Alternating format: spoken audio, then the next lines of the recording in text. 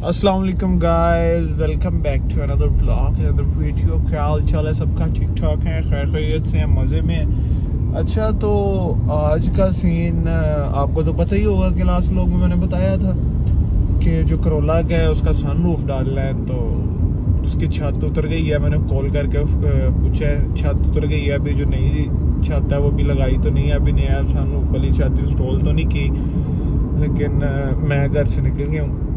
ठीक है, अभी जुम्मा शुमा पड़ा है तो बारिश हो रही थी और इस टाइम पे धूप निकल आई है। ये नहीं मुझे समझ आ रही। घर से निकला तो बारिश हो रही थी। अभी कोई तकरीबन कोई दस किलोमीटर भी नहीं चलाई होगी गाड़ी तो धूप वगैरह निकल आई है। खैर, इसको छोड़ो। अभी निकलते हैं इधर गुलबर्ग। ठीक है, गुलबर्ग तो मैं पहुँच गया हूँ, खैर। यहाँ पर दोस्त खड़े हैं, मैं अपनी गाड़ी पार करता हूँ तो उनके साथ उनकी गाड़ी पे जाता हूँ। तो जाके देखते हैं गाड़ी का काम कहाँ तक पहुँचा, कहाँ तक नहीं पहुँचा। क्योंकि ये गाड़ी का काम था करोला का भी जो दूसरी करोला है ना गोल्डन की शो जिसकी मैंने शॉर्ट्स लगाए थे तो शायद आप लोगों ने देखी हो, उस करोला का भी थोड़ा बहुत काम था। तो वो भी जा रही है, अभी वो देखे, वो मेन पे खड़े हैं। मैं गाड़ी बल्कि इधर ही बाहर ही लगा देता हूँ, अंदर क्या लगानी है। वो खड़े हैं सारे बाकी। और मैं गाड़ी इधर ही लगा देता हूँ। ओह सोलो जी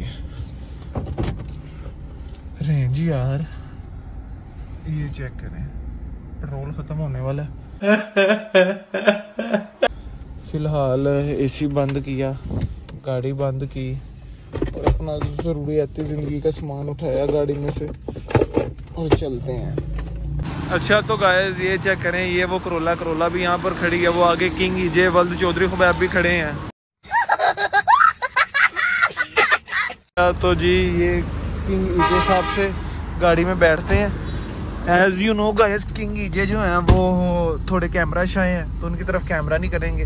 बाकी ये चेक करें wow beautiful interior for you good break next kill eagles Jio king EJ guys अगर कोई जानते तो मुझे बताएँगे, इतने ज़्यादा क्रोज यहाँ पर क्या खा रहे हैं। किंग ईजे क्या खा रहे हैं यहाँ पे? King EJ for you, खड्डू सारे दे फैम ब्रो अच्छा तो गाइस वर्कशॉप पहुँच गए हैं ठीक है। तो अंदर के सीन्स आपको अंदर जाके दिखाते हैं ओके अच्छा तो गाइस ये जो गाड़ी है ना इसकी पिछली शो सारी सेट हो गई है। जैसे कि मैंने लास्ट ब्लॉग में दिखाया लाइटें शाइटें लगने वाली थी वो भी लग गई हैं बम्पर वगैरह भी इसका लग गया है ठीक है? तो इसके जो मेन काम रहता था वो रहता था छत का। ठीक है ये चेक करें। इसके अंदर छत जो है ना, अभी वैसे ही रखी हुई है, ठीक है। थोड़े बहुत पेच लगाए हैं, साथ सिर्फ़ फिक्स करने के लिए लाइक जिस तरह ये पेच लगा हुआ है, और ये दो पेच लगे हैं। इस तरह ना कोई पाँच सात पेच लगाए हैं इसकी फिटिंग के लिए। और बाकी जो है ना, ये डेंटिंग तो आपको पता है कंप्लीट हो गई थी। आज जो है ना, इसकी फ्रंट लाइटें भी फिट हो जाएँगी, और इसका बम्पर भी फिट हो जाएगा। उसकी भी सारी शो वगैरह जो है ना, वो सेट हो जाएगी। और ये जो छत का सीन है ना, ये सीन बड़ा मज़े का हो गया। ये चेक करें। पूरा सनरूफ ये देखें। इसका ओरिजिनल कलर सिल्वर था। बाद में तो खैर वो पेंट हो जाएगी। आज इसको इन्होंने सारा ये स्पोर्ट वेल्डिंग करके ना, आज इसको सारा फाइनल कर देना बाकी जो सीन है इसका, लेकिन ये है कि अगर इसका सन रूफ खुला होगा तो मैं कहता हूँ इस गाड़ी में सन रूफ आ गया शशके ही हो जाएँगे।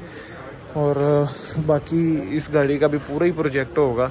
अल्लाह के हुक्म से माशाल्लाह एंड करेंगे इस गाड़ी पे भी। और ये देखें स्क्रीनें तो उतार दी थी, ठीक है, कल स्क्रीनें लगी हुई थी। तो जिस वजह से ना स्क्रीनें उतार के सा ये सारा काम होना था। ये देख रहे हैं, ये पेच ये पेच ये पेच ये सारे पेच लगे हैं। यहाँ पर ये जो होता है ना, ये स्पोर्ट वेल्डिंग के लिए होता है। यहाँ पर स्पोर्ट वेल्डिंग हो जाएगी, जिस तरह ओरिजिनल आता है, ठीक है।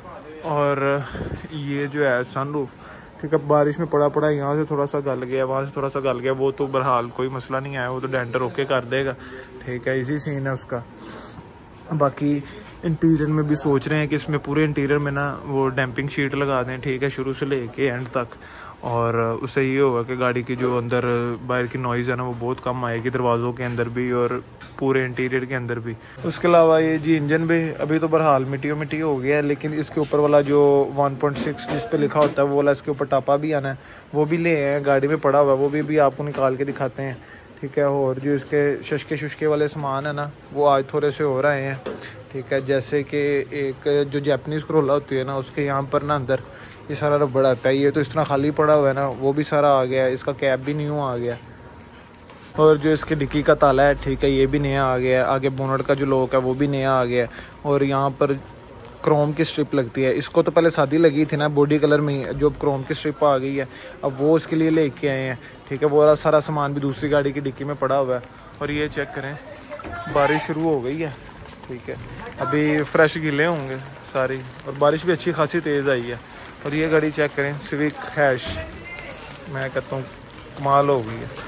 अभी तो खैर उन्होंने कपड़ा दिया हुआ है, कपड़ा उतरा होता तो आपको दिखाते। उस साइड से गाड़ी उठाई हुई है कुछ लगता है कोई काम शाम हो रहा है इसका।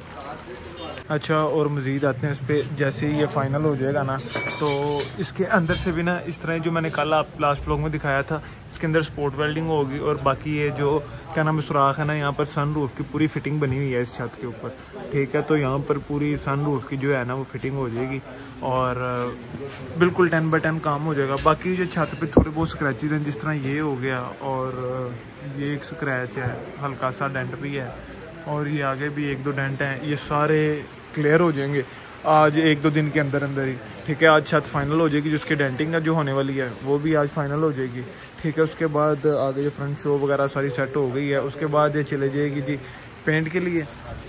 बाकी जो बुरहाल यार, वो तो ठीक है, लेकिन मौसम चेक करें यार। मैं कहता हूँ लवली मौसम। बाकी देखते हैं, वो कह रहा है कि बांदरा अंदर आइए इज़्ज़त नहीं है कोई भरा दी। तो बाकी इसके जो है ना, टायर जो हैं, वो भी ले लिए हैं। ठीक है, टायर रिम तो भी रिवील नहीं करूँगा। और उसके अलावा इसके जो कोयल कोयलोवर्स हैं कोयलोवर्स भी ले लिए हैं। गाड़ी को एयर पे नहीं लगाना, क्योंकि किंग साहब की जो फैमिली यूज़ की गाड़ी है, उसके वाले साहब भी यूज़ करते हैं। तो जिस वजह से उन्होंने भाई बोला है कि इसके ऊपर एयर नहीं लगानी। बाकी जो है ना कोयलोवर्स वगैरह सारा कुछ ले लिए। गाड़ी जब निकालेंगे तो डाउन करके निकालेंगे। डाउन ज़्यादा ना भी हो लेकिन कम से कम व्हील बैलेंस जो व्हील गैप है ना वो ख़त्म करेंगे कि गाड़ी जो है ना प्यारी लगे। बाकी ये किटों शीटों की फिटिंग एंड पे होगी। और देखते हैं। साजी क्या करने लगे हैं अब आप? ये इसके जो है ना हम ये स्पॉट जो है ना ये जो स्पॉट हमने उतारे हुए हैं ना ये स्पॉट पक्के करेंगे सारे। ठीक हो गया। ये सारी छत पट्टी करेंगे तो उसके बाद जो है ना इसकी फिटिंग शिटिंग ये से टेंशन निकालेंगे इसके। ठीक है। ओके हो गया जी। ये सारे स्पोर्ट वेल्ड हो गए। बाकी जितने ऊपर डेंट जैसे मैंने आपको बताया वो सारे निकल आएँगे। बाकी काम चाचू जी जन्मन हो जाएगा पूरा? इनशाला ताला पता भी नहीं चलेगा। ओके हो गया। इनशाला ताला। इनशाला इनशाला। ये चेक करें आपको स्पोर्ट लगता दिखाते हैं।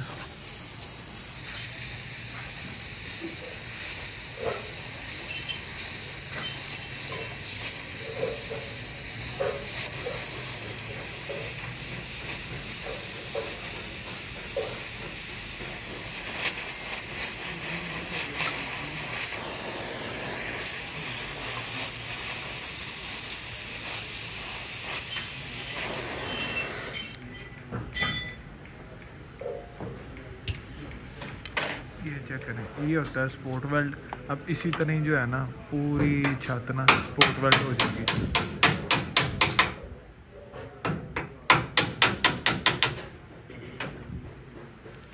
पानी की एक बोतल भर ला ताकि पानी पाई जावे।